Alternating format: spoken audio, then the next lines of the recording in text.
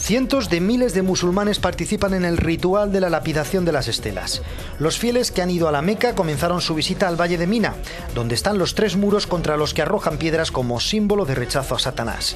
Ayer comenzó este ritual que dura tres días consecutivos y que pone fin a la fiesta del sacrificio.